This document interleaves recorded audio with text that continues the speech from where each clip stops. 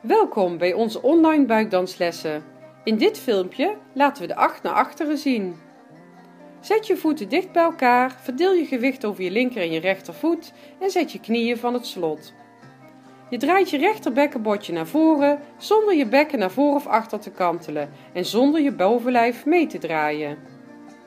Je schuift je rechterheup via een halve cirkel opzij naar achteren totdat je rechter bekkenbordje ongeveer boven je hak staat.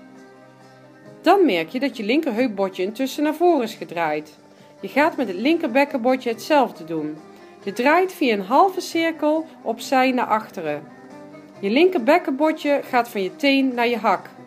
De 8 is nu af. Blijf de beweging herhalen. Je bovenlijf blijft in het midden, zonder mee te draaien naar rechts, links, diagonaal.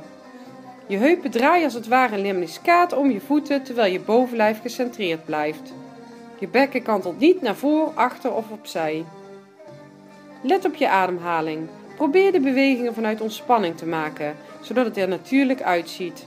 Maak de beweging niet te groot, dan blijft de beweging vloeiend en zacht.